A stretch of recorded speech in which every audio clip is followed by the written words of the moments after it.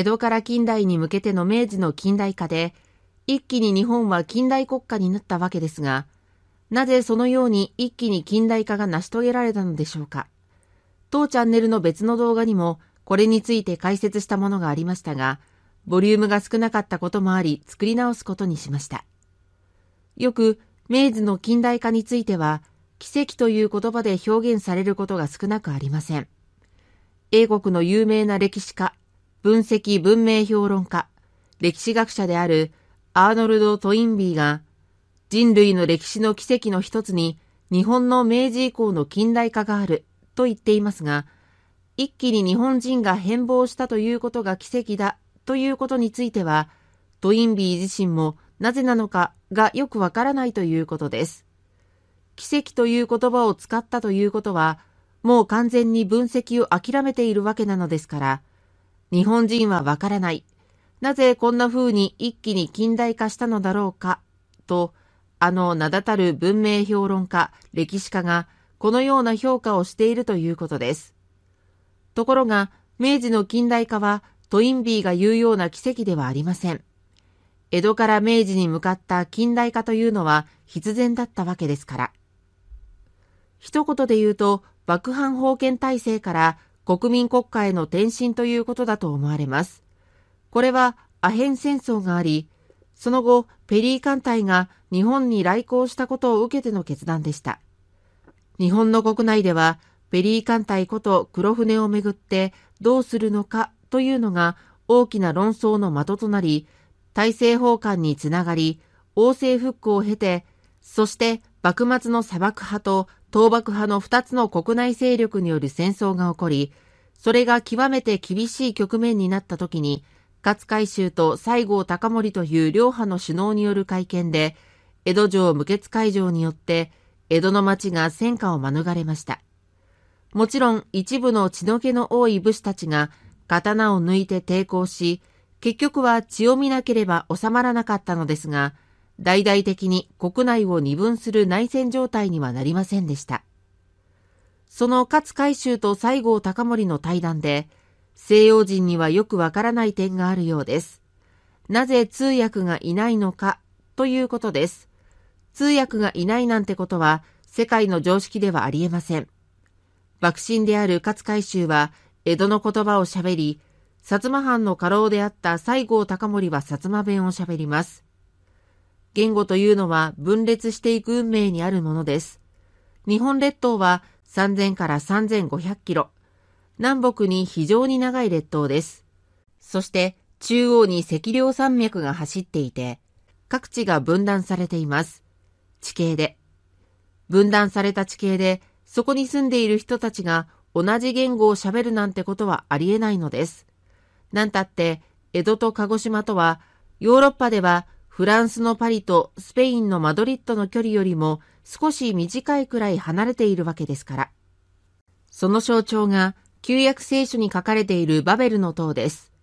さあ町を作り、天に届く塔を建て、名を上げよう。我々が全地に散らばらないように、ということで、創世記でバベルの塔を作る人間たちの気持ちが歌われています。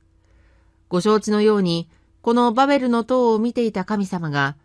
どうして人間はこのような天に届くような高い塔を作るのだろう。冗談じゃない。そうか、人間は同じ言葉を喋るからだ。同じ言葉を喋ると強いからバラバラにしてやろうとおっしゃられ、神様が人間の言葉をバラバラにしました。言語学者に言わせると、バラバラという日本語はこのバベルから来たそうです。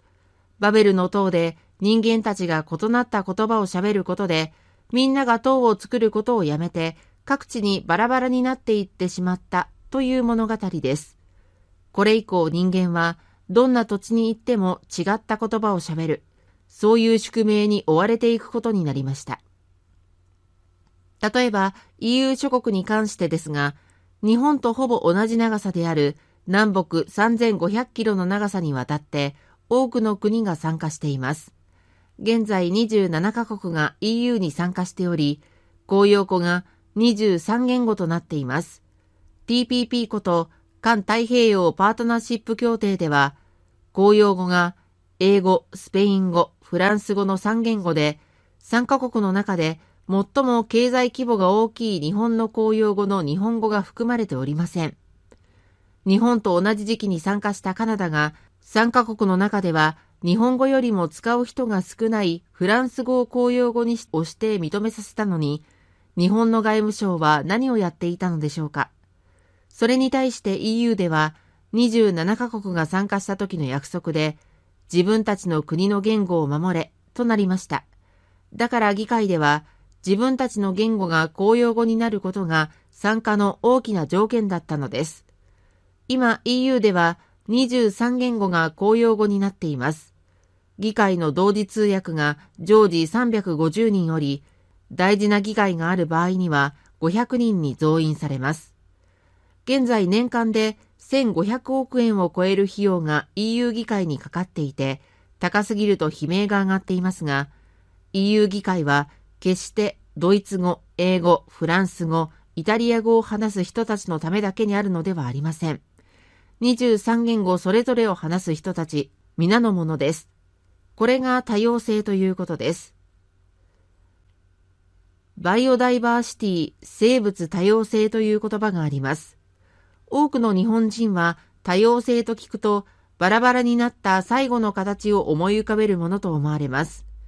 日本人はその結果としての多くの種があることを多様性、バイオダイバーシティと認識しているからです。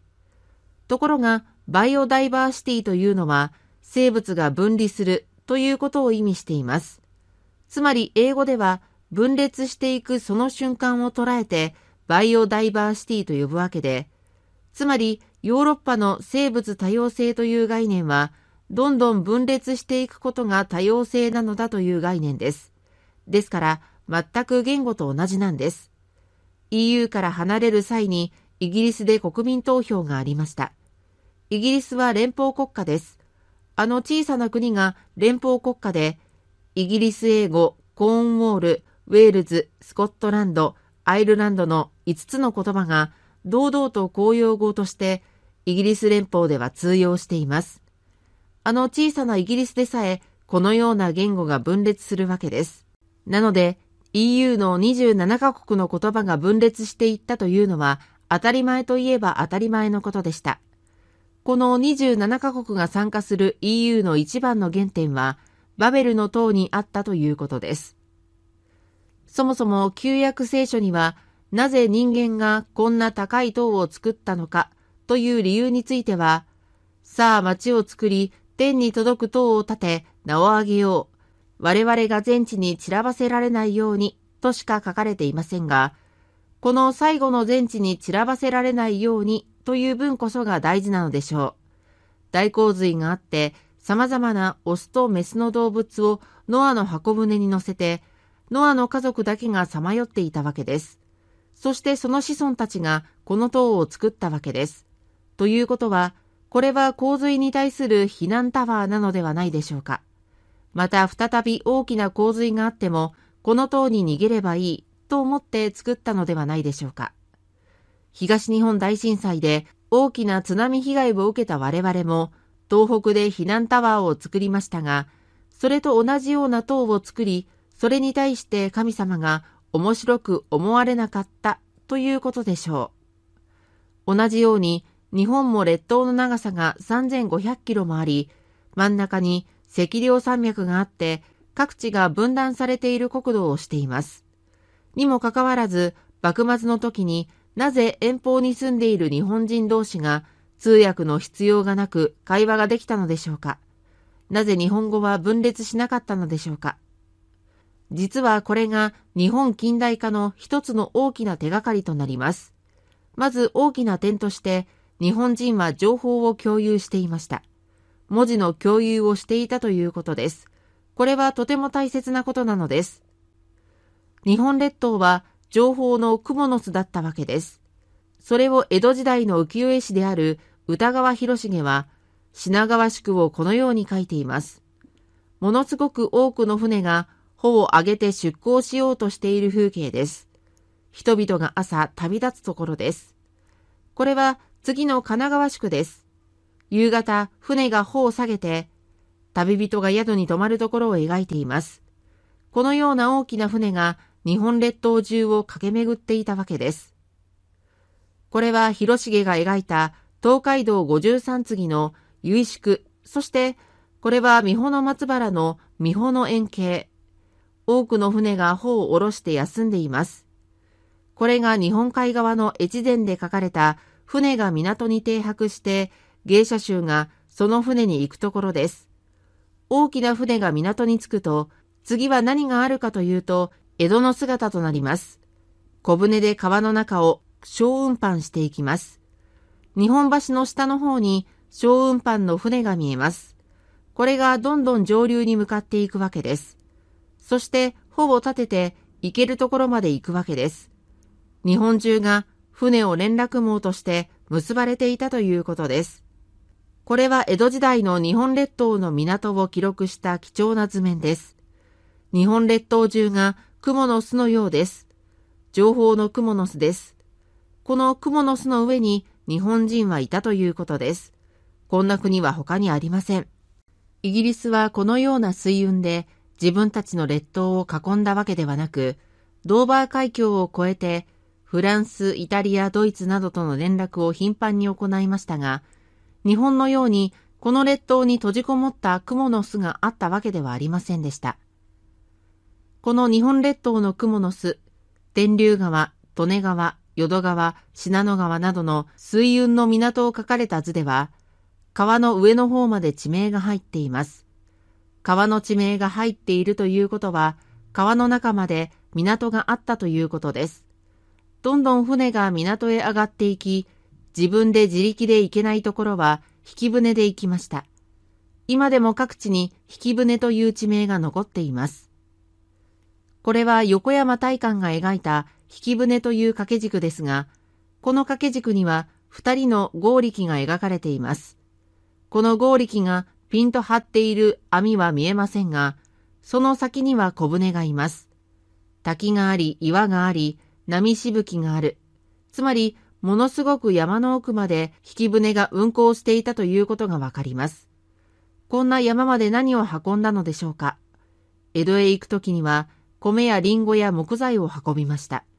でもこの山奥まで何を運んだのでしょうか。江戸の羽子板とか、お正月の人形だとか、ひな人形など、様々な全国各地の人形などが運ばれました。材木商人たちが材木を切って、江戸や大阪に持って行って、その帰りに人形などを持って帰ってきたわけです。空船になった江戸から帰ってくる船の中には、江戸の貴重なものが満載されていました。人形だけではなく、当時は情報の塊でもある瓦版や浮世絵が船の中には満載されていました。当時の日本中の人たちがこの瓦版を読んで楽しんでいました。谷風が何連勝したとか、赤穂浪士が討ち入りしたとか、そのことがあった一週間後には全国中で知れ渡っていたそうです。この江戸で作られた版画、瓦版、浮世絵というまさに情報の塊が日本列島の津々浦々、川の通じた山奥の中までたどり着いていたわけです。つまり250年間の江戸時代、この水運、船のおかげによって日本中の人たちは江戸発信の情報を共有していました。日本人は情報の蜘蛛の巣のハンモックに揺られて育ったわけです。同じ言語を喋るのは強いということです。欧州の列強が植民地を支配した時になるべく違う言葉を喋らせて意思の疎通をできないようにして、なるべくバラバラに住まわせて、住民が互いにいがみ合うように努め、教育を受けさせなかったということからもわかるように、日本人が同じ文字を読み、同じ文字を語る。これこそが近代化へ向けた第一歩でした。旧約聖書のバベルの塔の相場からもわかるように、同じ言語を喋る集団は強いということです。しかも日本語はとても不思議な世にも稀なる言語。他の国の人たちが真似できない不思議な言語です。これも地形に関係しています。日本列島は海に囲まれていますが、世界中の海流が流れている中のユーラシア大陸の極東に位置しています。日本列島の周りには、親潮、黒潮、対馬海流、リマン海流がものすごい勢いで流れています。日本のテレビのバラエティ番組でもやっていたように、ドーバー海峡を泳いで渡るという話はよく聞きますが、対馬海峡を泳いで渡ったなどは聞いたことがありません。潮の様子がいい時だけ船の往来ができたようですが、その潮を読むことが大事だったと言われています。日本列島は極めて厳しい潮の中に囲まれていたのですが、このことがユーラシア大陸の文明と隔離されて、日本独自の文明を築くことへとつながってきました。簡単に他国が侵略できなかったわけです。そのためなのか、日本人はどこの国の人たちとも違う不思議な脳を持っています。角田忠信東京医科歯科大学名誉教授の日本語人の脳、理性、感性、情動、時間と大地の科学という本では、日本人の脳と西洋人の両方の脳細胞を比較しています。日本人の左脳右脳と西洋人の右脳左脳で両方に共通することは、左脳が言語論理を司るということ、論理を司る左脳に日本人は虫の音だとか動物の鳴き声を感じます。これはどういうことかというと、角田先生は虫の音を聞かせて、その脳に電気の電極を当てて、どこが反応するか、つまり鳥の声、虫の声を聞いて、どの脳細胞が反応するかを丁寧に調べていったら、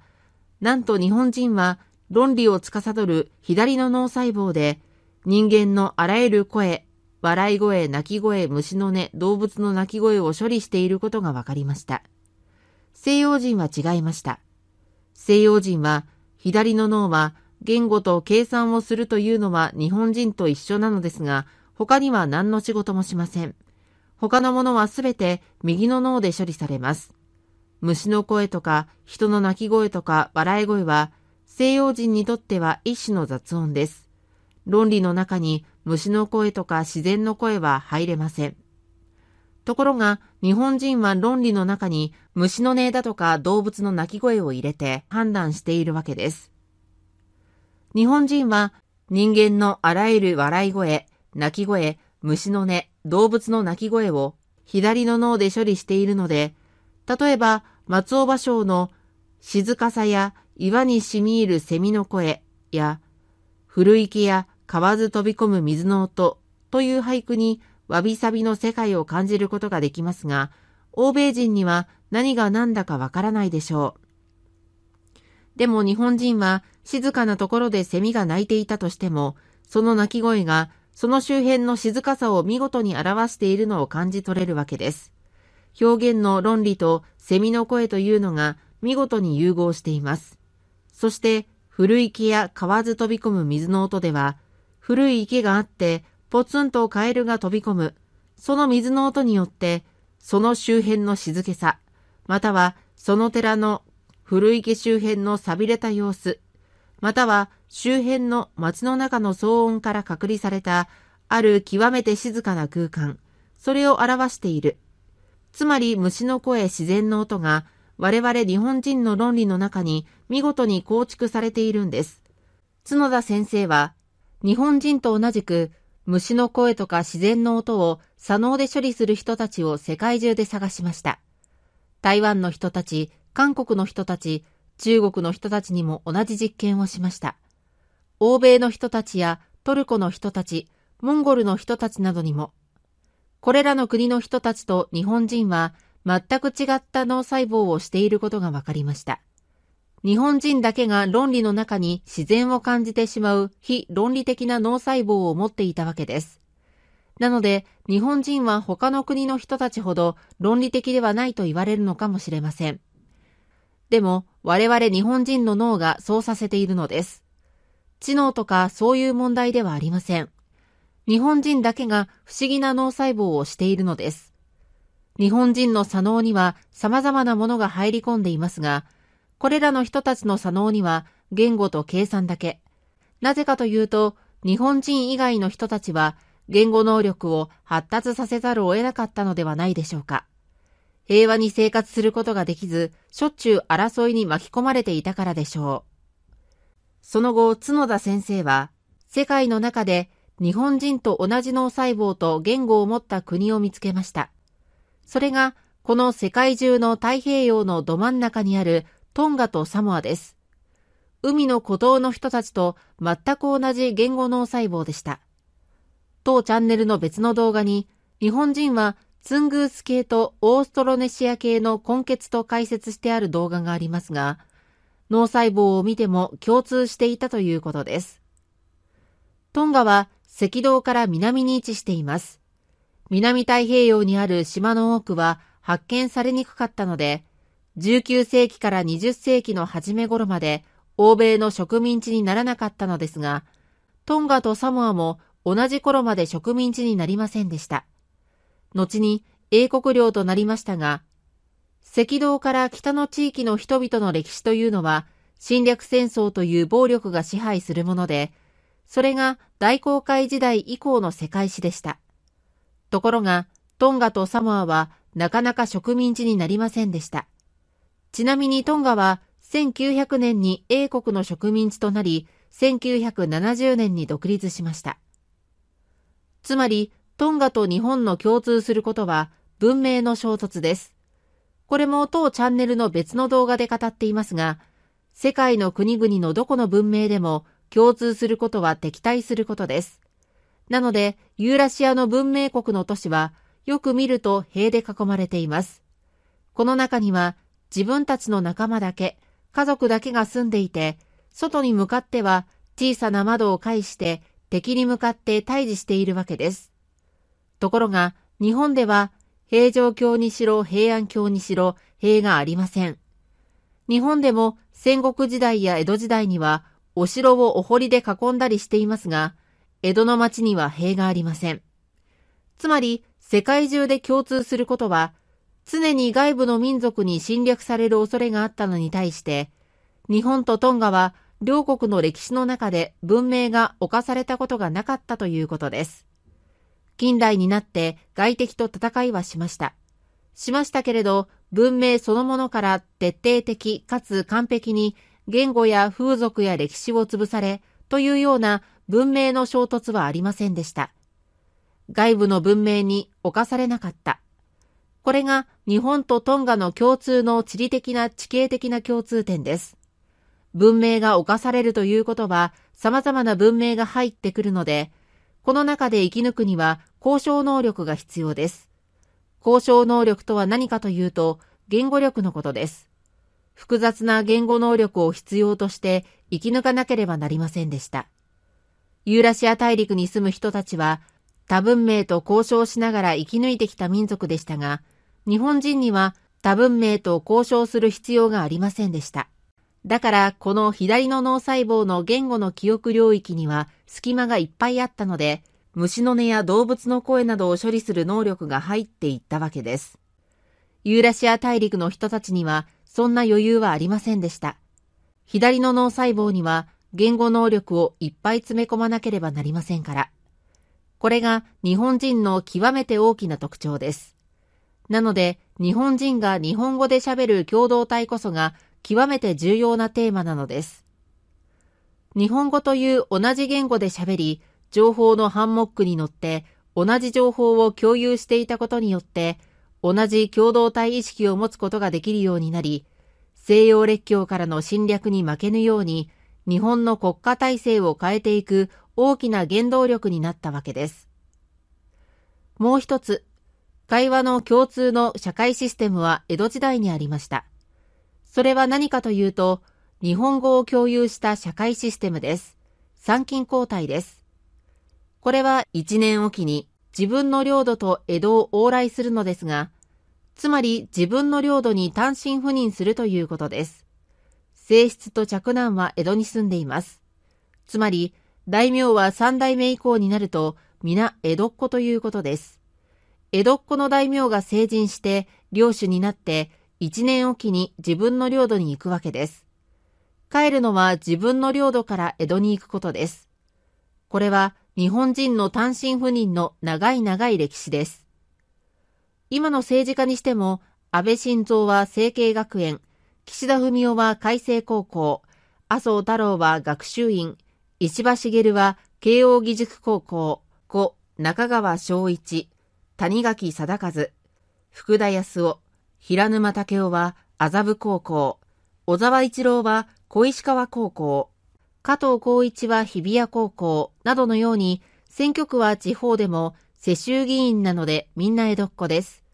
参勤交代の風習が21世紀の今でも日本の政界の姿でもあるわけです。参勤交代をして、各々の宿場に泊まり、そしてこの宿場で、お殿様や家老たちが話す言葉は江戸弁でした。そして皆が集まった旅籠でも江戸弁が共通語になっていました。つまり、お殿様が江戸弁を喋っていたら、部下たちは江戸弁を喋らざるを得ません。何しろ、お殿様は江戸っ子なのですから。なので、幕臣である勝海舟と薩摩藩家老の西郷隆盛との対談では、多少の鉛はあったと思いますが、全く通訳は不必要でした。というのが日本人の江戸時代の姿でした。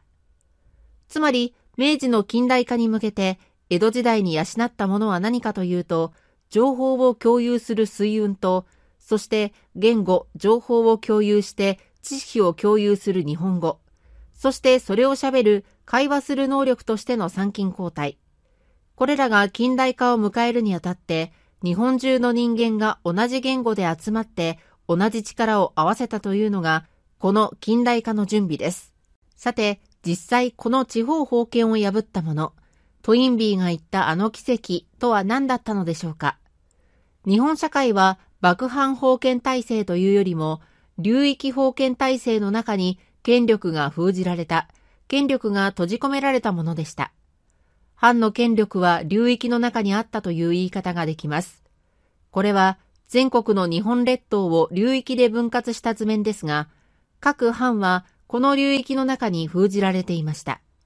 あの尾根を越えられませんでした。戦国時代は尾根から越える戦いを繰り広げていましたが、江戸時代は尾根を越えてはいません。でも、尾根の中の川の流域の中では何をやってもよかったので、中石平や戦場地を一つの川、堤防の中に川を押し込んで、土地利用を高めていきました。前はこのように山田のオロチが住んでいたところを一本の綺麗な国葬地帯に直していった。これが江戸時代の力でした。平安から安土桃山時代まではほとんど農地の増加が見られませんでしたが、江戸時代になった時点から日本の農地は一気に増えています。自分の国を外に広げようとしていた時代が終わり、内を充実させようとする時代になったということです。これが江戸の250年間の平和な中で培われた日本国土ということです。この流域の中に住んでいた日本国土、日本人がなぜこの流域から飛び出したのでしょうか。封建領主のために生きる時代ではなくて、自分自身のために生きる国民国家が誕生したためと言われています。自分自身のために生きる人生に一気に変わっていくということです。ただ、維新というくらいですから、古い体制に戻ったわけです。王政復古です。勘違いされている人がものすごく多いですが、すべて改まり新しくなることではありません。多くの国語学者も嘆いています。維新という言葉は、シナの最古の詩編、詩教の、州は旧法なりといえども、その名はこれ新たなりという言葉から付けられており、幕末の論客である水戸学の藤田東子が維新を愛用したことから、天皇中心の体制に戻るのを維新と名付けたわけです。当チャンネルの別の動画でも語っていますが、明治維新が成功した一つの大きな理由は、矛盾に見えるようなものを一致させたことだと思われます。明治維新のおよそ700年前に、源頼朝が鎌倉に幕府を開いてから、日本の政治の実権は武士にあって宮廷になかった。その実権を宮廷に戻す、700年前の体制に戻すという復興運動です。ところが、その復興運動自体が近代化運動でもあるわけです。それまでの幕府は自然科学の研究などを非常に危険視して、キリシタン、バテレンじゃなかろうかとか、それから外国の交流を出島でオランダと、琉球と清、対馬と朝鮮、アイヌと満州に限り厳しく抑えたりしました。ところが、明治維新というのは、その逆にグローバル化を推し進めた運動でした。それが同時に復古運動なのです。復興運動が同時に近代化運動であったということが日本の大きな幸運だったのでしょう。パラドックス、逆説というわけですが、普通はありそうにもないのですが、よくよく考えてみれば、うまいな、というふうに改革していきました。それは復興運動。明治維新は復興運動だと、どんないわゆる原理主義者みたいな人でも反対のしようのない。それと同時に近代化運動を推し進めました。それがトインビーが言ったあの奇跡を生んだのでした。